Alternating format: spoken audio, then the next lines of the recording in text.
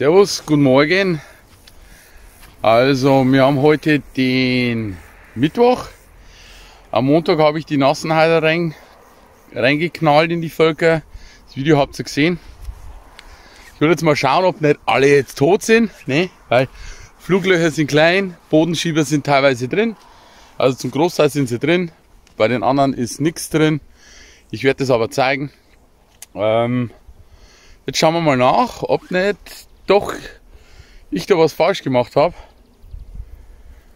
Und danach gehe ich nochmal drauf ein. Ja, dann schauen wir uns das Ganze mal an. Kurzer Check, ich will eigentlich nur schauen, ist da genügend verdunstet und und und. Und dann werden wir das mal klären. Und dann schauen wir mal auch auf eine Windel, wie viele Varonen jetzt schon gefallen sind. Abwarten. Bis gleich. So, als allererstes schauen wir uns mal die Fluglöcher an. Die Fluglöcher sind klein. Schauen wir mal hier rein. Also Polleneintrag ist vorhanden. Sieht eigentlich alles ganz normal aus. Also bin ich eigentlich schon mal zufrieden. Der erste Eindruck ist schon mal gut. So, als nächstes schauen wir mal auf eine Windel. Halt, die Windel, die können wir nicht mehr checken, die habe ich sauber gemacht. So, mal, jetzt schauen wir mal auf diese Windel hier. So. Äh, oh, das ist die Holzwindel. Dann gehen wir auf die hier. Oh, das sieht gut aus. Das sieht sehr gut aus. Also da fallen wirklich verdammt viele Varonen. Das ist übrigens das Volk, was nicht selbstständig ausräumt. So, und jetzt schauen wir uns gleich mal die Windel an von so einem Volk, das selbstständig ausräumt. Das ist das hier hinten. Ja, also da ist bis jetzt ist der Totenfall ja sieht jetzt nicht mehr aus wie sonst ohne Nassenheider. Aber naja, jetzt warte mal, schaue ich mal das daneben noch an. Da muss ich das Stückchen wieder rein tun. Ach, das sieht auch nicht schlecht aus. Das ist, da fallen auch relativ viele. Also die Behandlung wirkt und das jetzt nach dem zweiten Tag bin ich schon mal zufrieden. Dann schauen wir mal da vorne das erste Volk. Schauen wir mal, wie es denen geht. Und wie viel verdunstet ist. Schau, gehen wir auf Weit, wir halten nicht Zoom auf Weitwinkel. So, schauen wir da mal rein.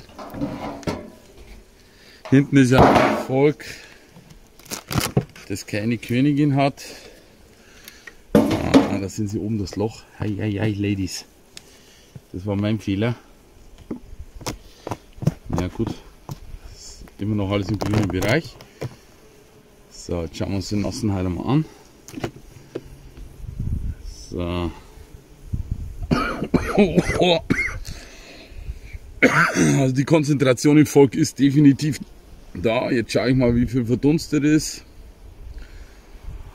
140. Wir sind jetzt bei 140, 190 waren circa drin. Auf ziemlich genau zwei Tage jetzt. Ergo fehlen 50 Milliliter. Es sind 25 Milliliter verdunstet.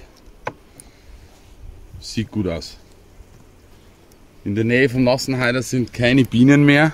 Also in der oberen Zage, da sind keine. Was mich aber nicht wundert, weil das sind nur Futterrämpchen. Also da ist gar nichts drin. So, aber es sieht gut aus. Also jetzt klappen wir hier mal zu. Nicht, dass die wieder hier oben raufkommen. Und dann machen wir den Deckel wieder drauf. Und dann schauen wir uns. Komm, geh weg da jetzt. Schauen wir uns gleich mal das nächste an. Also, sieht bis jetzt bin ich sehr zufrieden. So mal, seht ihr da alles.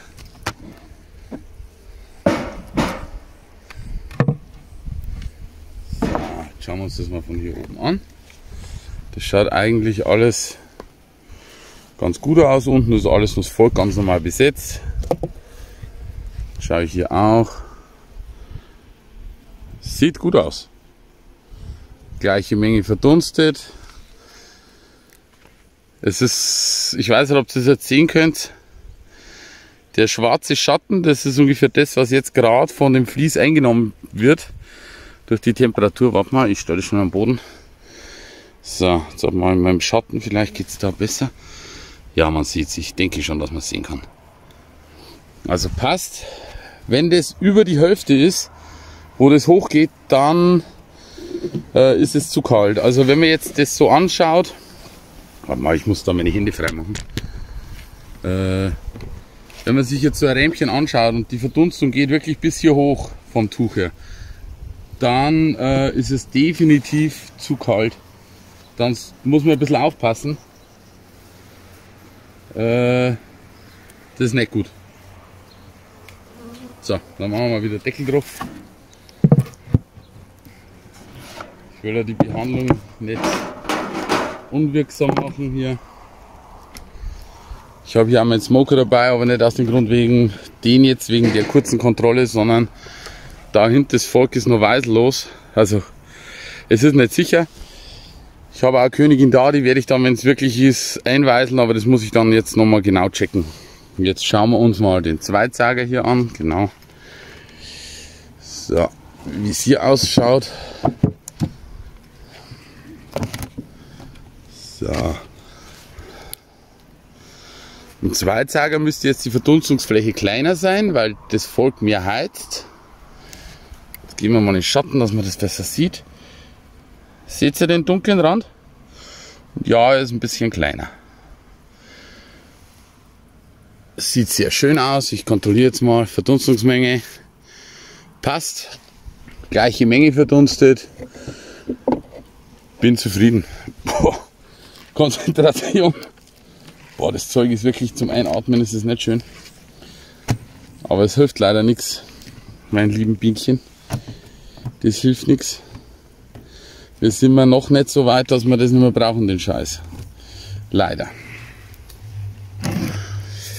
So. Gut.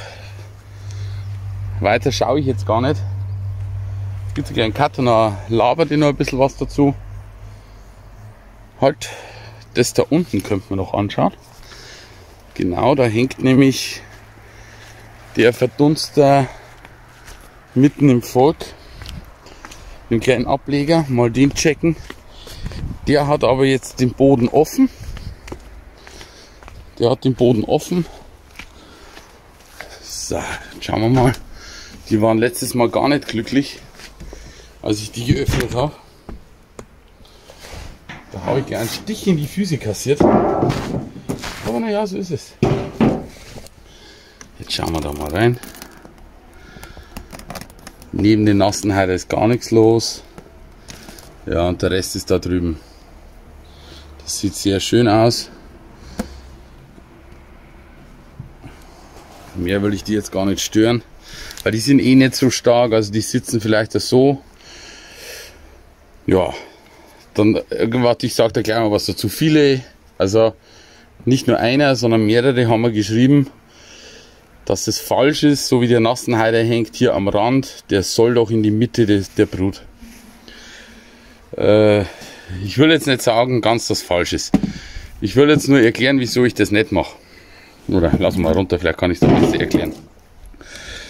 Also, wenn man, wenn jetzt hier das Brutnest ist und ich den nassen Heider hier reinhänge, genau in die Mitte, ich will, nicht, ich will es nicht abstreiten, dann wirkt der Nassenheider natürlich hier und hier direkt in der Mitte am stärksten.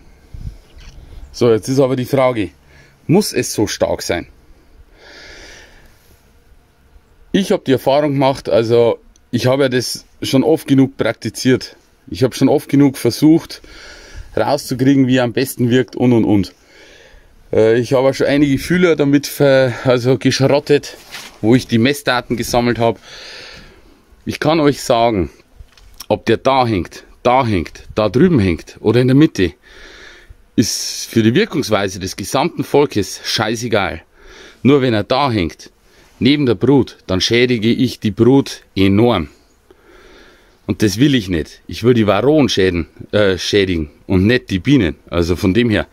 Dann das nächste ist, wenn ich jetzt Zage um drüber habe, so wie ich es oben habe. Warte, ich gebe dir keinen Cut, dann gehen wir rauf. Und ich baue das schnell zusammen.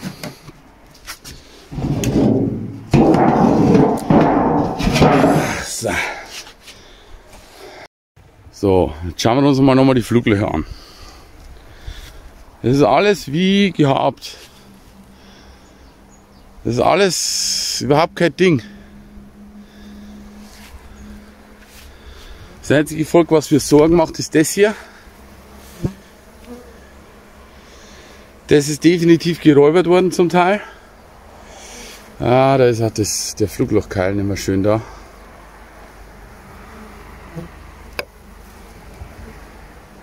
Ja, die werden immer noch ein bisschen geräubert. Da werde ich da jetzt da gleich mal einschreiten. Weil das geht nicht. Äh, ja. Das nächste ist, weil viele sagen, ich soll hier das Flugloch so aufmachen. Zur Varroa-Behandlung. Also nicht so klein, sondern wirklich so oder halt größer. Ich habe die Erfahrung gemacht, wenn mir hier so absolute Wieso ist der Fluglochkeil hier draußen? Also nicht gescheit drin. Was ist denn hier los? So nicht, meine Ladies. Jetzt. Äh, ich habe die Erfahrung gemacht, wenn das Flugloch so ist wie hier und auch wenn man Varroa-Behandlung macht, ist das Risiko für Träuberei ist einfach da. Weil es den Bienen scheißegal ist, wenn die räubern, ob da Varroa, ob da der Ameisensäurebehandlung ist oder nicht. Äh, aus dem Grund hier, ihr seht es, also die werden jetzt so ein bisschen geräubert, werden sie. Schaut es mal genau an, wie sie streiten. Ich werde jetzt gleich da mal den ganzen ein Ende setzen, hier unten. Jetzt sind sie wieder weg. Und einfach um das, das nicht zu haben, bleibt das, das Flugloch klein. Das ist mir egal, was da andere denken. Ich habe es oft genug versucht, äh, irgendwie zu testen, groß, klein, mittel, Schieber offen, Schieber zu, ob sich da was ändert. Ob die Bienen das irgendwie anders mögen. So, jetzt machen wir mal hier zu, weil ah, ich weiß warum, dass ich da, dass der nicht, der passt nicht. Da muss ich jetzt einen anderen holen dann. Dann lege ich aber den zumindest so her. So, jetzt ist gleich Ruhe. Ja, jetzt. Ähm, da hole ich jetzt dann noch einen gescheiten Schieber, der da reinpasst und gut ist. Äh, die Wirkungsweise von der Ameisensäure ist immer dieselbe. Es ist weder was stärker noch schwächer von der Wirkungsweise. Äh, das ist wirklich egal. Es ist völlig egal. Das nächste ist, wenn der Nassenheider da oben drin hängt, also hier extra, separat in einer extra Zage, äh, verteile ich den, den Dunst auf das gesamte Volk, also auf die gesamten Kisten. So, jetzt haben wir das mal durchgecheckt. Also, ihr habt es gesehen, die Mengen verdunsten optimal. Boah, du, den brauchen wir jetzt, brauche ich jetzt dann noch. Ähm, die verdunsten optimal, die Mengen, das passt.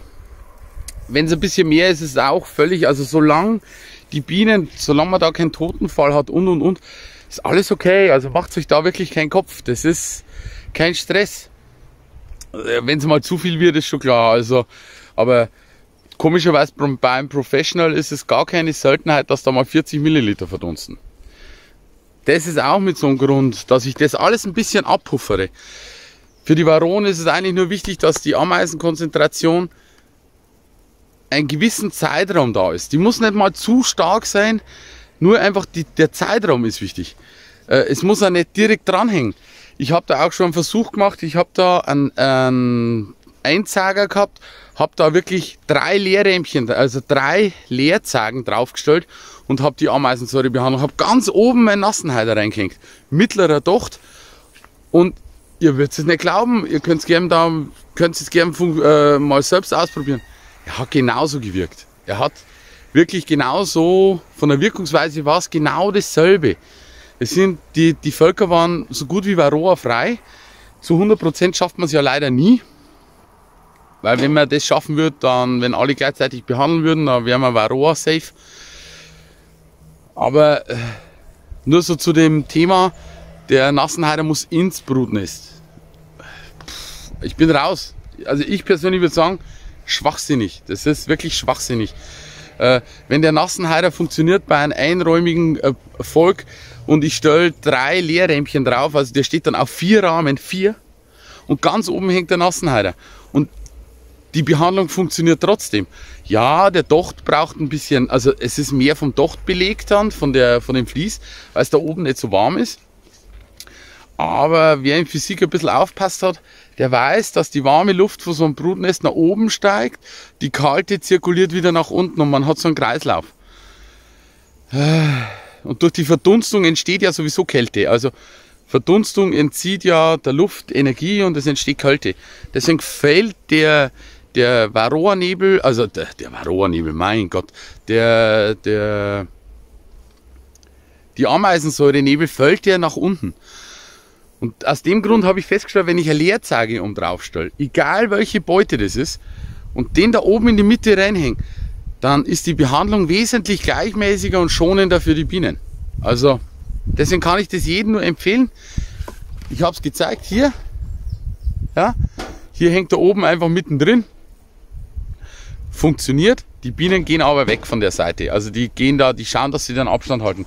Ihr habt es gesehen hier. Hier ist eigentlich unten im Volk der ganz normale Betrieb. Der ganz normale Betrieb. Der, die lassen sich gar nicht stören. Die Varonen fallen, das habt ihr auch gesehen. Äh, jetzt am zweiten Tag. Hier ist der Zweizager. Da. Da, da, da. Zweizager. Da funktioniert es auch. Gleicher Docht, gleiche Behandlung, wieder Leerzage drauf, oben drüber. Ich weiß jetzt nicht, wie groß das sein kann, bis es dann nicht mehr funktioniert, aber ich glaube größer, wie man sich das vorstellen kann. Der große Docht, wo da dabei ist, der ist ja wirklich nur, wenn es wirklich saumäßig kalt ist. Äh, wenn es saumäßig kalt ist und man muss mit 80%iger Ameisensäure, die darf man ja normal sowieso nicht hernehmen. Äh, mich wundert immer ein bisschen, dass mich da so viele Leute anschreiben, aber komischerweise, es, es hat fast niemand die Gebrauchsanweisung gelesen und es hat noch niemand an den Hersteller eine E-Mail geschrieben und hat mal gefragt, hey, habt ihr da Versuche gemacht, äh, was da so die Grenzwerte sind? Liebe Wespe, äh, und wir sind da wirklich, also der, der, so wie ich das jetzt hier mache mit dem Horizontal, ich kann euch bloß sagen, das funktioniert wirklich verdammt, verdammt gut. Was ich nicht mag an dem Professional, das ist das, das Tellerchen, was man da oben reinlegt. Ja? Ein paar haben auch geschrieben, wieso ich das nicht mit dem Tellerchen mache. Ich weiß jetzt nicht genau wieso, warum. Also ich kann es vermuten. Ich müsste einen Strömungstest, einen Luftströmungstest machen. Nein, da bin ich raus, da habe ich keinen Bock drauf. Äh, das darf der Hersteller übernehmen, wenn er mag. Aber ich glaube, ich weiß, an was es liegt, wenn man das Tellerchen jetzt so sieht. Ja? Ich habe ja gesagt, warme Luft. Ja? Könnt ihr es gerne auch Wikipedia nachschauen. Äh, äh, warme Luft steigt von unten nach oben. Ja? Wenn man jetzt den Verdunster sieht, der auf den Tellerchen steht. Ja? Die warme Luft kann gar nicht direkt hin. Ab jetzt. Die kann, die geht an dem Tellerchen vorbei, steigt nach oben und fällt nach unten wieder. Ja, es entsteht ja so ein kleiner Kreislauf. Also permanent nach oben kann es nicht. Der Deckel ist zwar ein bisschen, ist nie ganz dicht. Also man hat nach oben schon ein bisschen Ausdunstung, aber das kennt ihr, wenn ihr eure Blechdeckel anschaut, schaut mal in die Ecken rein. Wenn ihr so zwei Jahre habt, dann schaut mal nach der Ameisensäurebehandlung, fahren, fangen dann sehr viele Innendeckeln, die fangen dann da innen drin das Rosten an. Das liegt an der Ameisensäure. Dann wisst ihr genau, wo die Luft rauszieht bei euren Deckel. Äh, was, was ja auch nicht schlecht ist, sagen wir mal so, aber ist, ist egal. Äh, jetzt habt ihr das Tellerchen, da ist der, der, der, der Effekt nicht so gut. Also die Verteilung ist nicht so gut. Aus dem Grund finde ich, ist der wesentlich besser. Was funktioniert wirklich auch dasselbe Effekt ist, wenn man das Teil mit dem Tellerchen hat. Und das, die, da wo alles draufsteht, da wo das Verdunstungsvlies drin ist, wenn man da irgendwas mit reinmacht, dass das ein bisschen höher ist, dass unten die Luft durchzirkulieren kann. dann wird's besser, dann wird's wirklich besser. Aber ich finde so immer noch, also ich finde es komisch, es ist, ich finde es immer noch so am besten. Das ist wirklich sehr schonend. Es ist natürlich, äh, es gibt für die Bienen wahrscheinlich was Schöneres, wie im Ameisensäure-Dunst zu leben. Aber gut, das ist jetzt eine Woche. Dann wird weiter gefüttert. Dann haben wir noch mal, dann machen wir noch mal eine Woche, so Ende September, Mitte September. Und dann sind wir eigentlich Varroa technisch safe. Also komme was wolle, dann passt es. Im Winter, wenn es hart auf hart kommt, noch mal Oxalsäure träufeln äh, und gut ist. Dann höre ich immer wieder, immer wieder, äh, dass sehr viele einfach nicht alle Völker behandeln. Die sagen, ach, das Volk hier, das ist, ich kenne meine Bienen, äh, das hat keine Beha äh, Belastung, das behandle ich nicht. Ja? Das ist eine ganz gefährliche Sache. Kann ich euch sagen, das ist eine ganz gefährliche Sache. Weil wenn ihr ein Volk habt, also das Volk da hinten, also ich habe hier ein paar Völker am Stand, die räumen wirklich rigoros aus.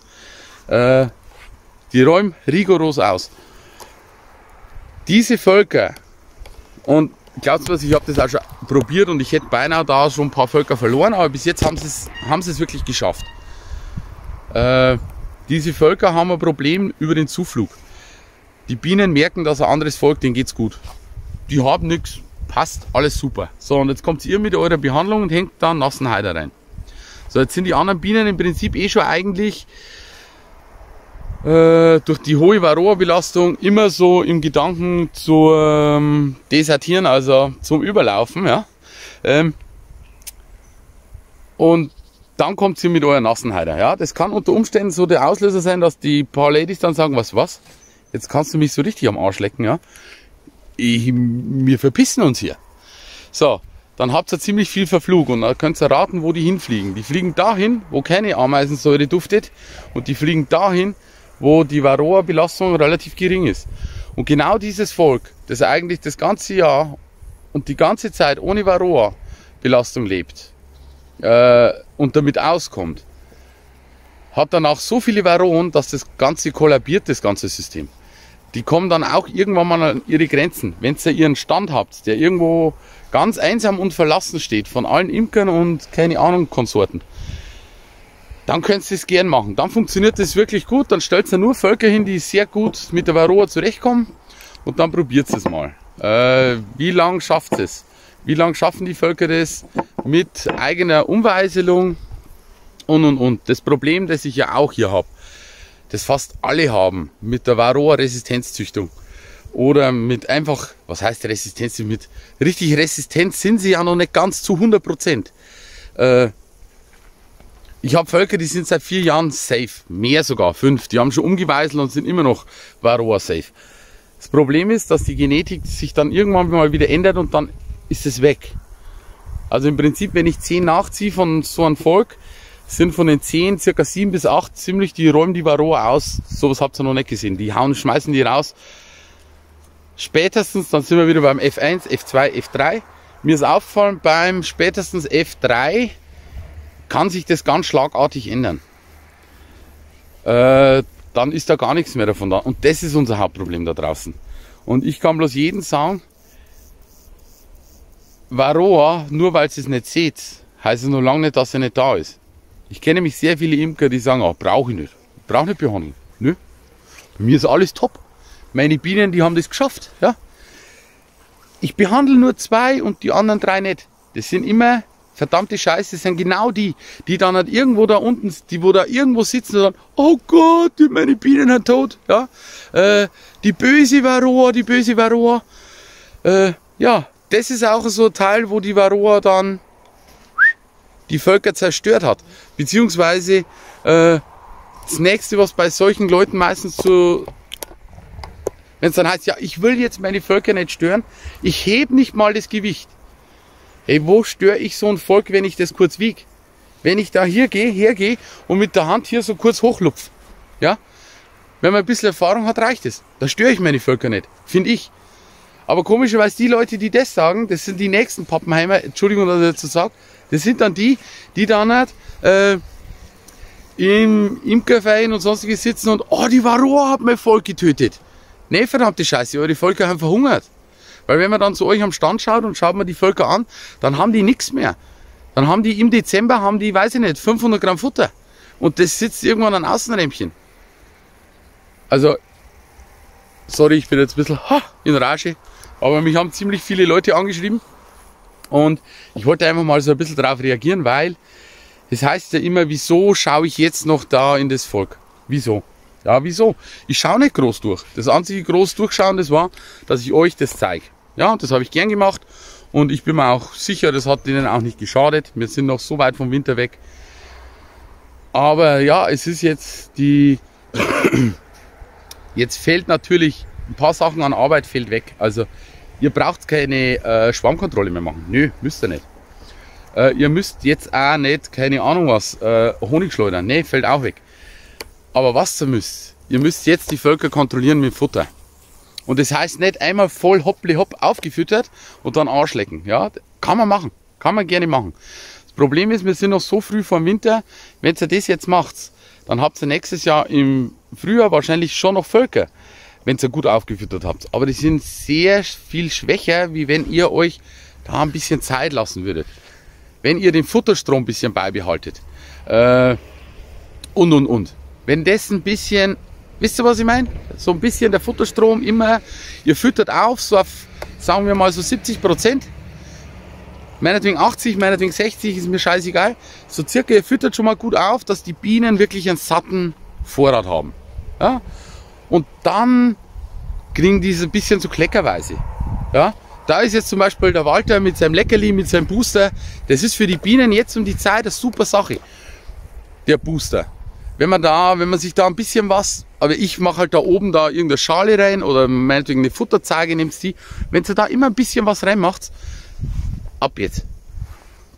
Äh, dann, dann, dann ist immer der Futterstrom da. Seid ihr natürlich in einer Gegend, wo die jetzt noch finden, dann könnt ihr das bleiben lassen. Aber es gibt sehr viele, der jetzt absolute Trachtlücke herrscht. Und das schon seit Wochen. Wenn ihr die Völker nicht füttert, die packen das. Aber die werden immer schwächer. Die werden immer schwächer und die werden es auch überleben, aber nach dem Winter sind die ziemlich schwach.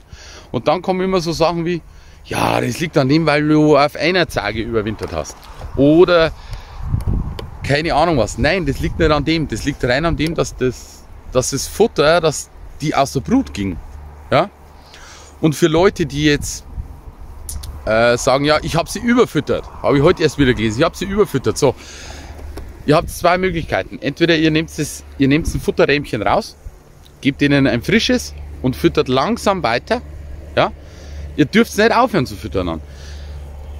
Weil die müssen ja das dann ausbauen und und und. Oder was Plan B ist, wie jetzt meine Methode, jetzt um die Jahreszeit, ihr nehmt das Rähmchen raus, am Rand, irgendein reines Futterrähmchen, äh, lagert euch das ein. Das könnt ihr, keine Ahnung was, nehmt es mit ins Bett, ist mir egal. Äh, irgendwo einlagern, wo kein Wachsmotten und nichts drankommt. Dann gebt ihr ein frisches dazu. Nehmt noch zwei, also ihr nehmt zwei von unten raus, eins lagert sie ein. Eins wandert einen Stock höher, so. Da ritzt ihr wieder schön alles auf. Und unten kommen zwei frische rein. Dann habt ihr den Vorteil, ihr habt eins habt auf Lager, Zweitens, ihr müsst sie nicht gleich sofort nachfüttern, weil das Rämpchen, was ihr hochgehängt habt, das ist ungefähr das gleiche, wie wenn ihr füttern würdet. Und ja, die bauen unten wieder. Wichtig ist immer der Futterstrom. Wo das Futter herkommt, ist den Bienen scheißegal. Der Futterstrom ist wichtig, der, der permanente, leichte Futterstrom. Wenn der Futterstrom einbricht für circa, also ich habe unten mal, ich habe mal ein paar Versuche gemacht, nach acht Tagen circa, wenn acht Tagen so gut wie nichts reinkommt, also wenn die acht Tage lang nur Minus machen, dann machen eure Dämme nichts anderes wie, die bauen gar nichts. Die bauen nichts, das Brutnest wird immer kleiner, wird immer kleiner, obwohl der Platz mehr wird im Volk. Und nach acht Tagen Trachtlücke, wo gar nichts geht, stiftet die Königin nichts mehr. Wenn überhaupt, dann ungefähr so ein großes Brutnest. Und wenn ihr das dann habt, dass die Königin für zwei Wochen lang nicht mehr stiftet, oder sehr, sehr wenig, dann habt ihr euch sauber in den Fuß geschossen, weil ihr müsst bei der Imkerei immer ein paar Wochen vordenken. Also immer ein paar Wochen. Wisst ihr, was ich meine? Okay, dann, ja, ich habe eh schon, oh Gott, ich sehe es gerade, ich habe 17 Minuten jetzt schon wieder gelabert. Ja, ich muss jetzt noch das eine hier durchschauen. Das hier. Das. Äh, da seid ihr ausnahmsweise nicht dabei, weil ich muss ein paar Mal rauf und runter, hin und her. Ich habe ziemlich viel Arbeit hier.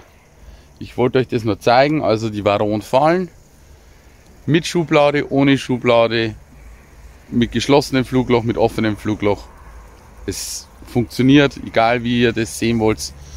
Und es ist wirklich egal. Glaubt's mir's? Das ist egal, ob das zu ist, offen ist. Und wenn einer sagt, der Styroporbeute, genau das wollte ich auch noch sagen, wenn einer eine Styroporbeute hat, ja, die ist dichter. Die ist wirklich dichter von dem Ganzen drumherum.